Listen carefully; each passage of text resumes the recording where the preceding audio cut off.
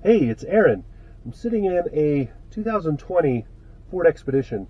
This is a big, big truck. Beautiful. This is the FX4 package. I love this package. It, it's good off-road. It's not great. I'm not going to compare it to, you know, like a Jeep Wrangler or something like that. It's not at that level. This is for the person that wants to go camping, uh, maybe fishing and other things, but most of the time, the other 10 months of the year, this is the family hauling vehicle, right? Uh, it's big, it's comfortable, it's beautiful. Uh, one of the things that Ford did with this when they redesigned it a couple of years ago is they redesigned the framing so that it's still a body on frame SUV, but that rear uh, axle's gone and instead it's independent and that freed up a lot of room in the back, added a lot more uh, cargo, uh, and added the uh, added more room for that third row.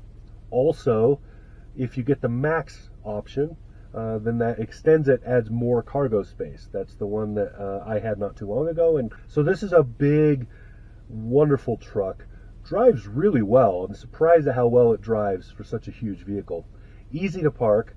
Uh, this has the surround view cameras. I very much recommend that in a vehicle this large uh, because then you can see, but it has huge side mirrors, has a very large, uh, very large interior presence, uh, and the edges drop off, so it's not rounded. They're, they they curve down and then just cut, and that means that when you're sitting in it, you can see all of the edges.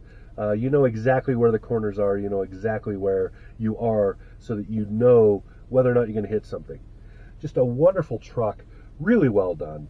I am I am highly highly. I'm doing all this uh, and recording audio on a on a GoPro, so it's probably going to sound like crap. Oh well hopefully it comes out okay. So, uh, yeah, those are my impressions. That's how I feel about this truck. Uh, I'll give you some more specs. I don't know what else to say. All right, that's what I got. This has been Aaron. Talk to you soon.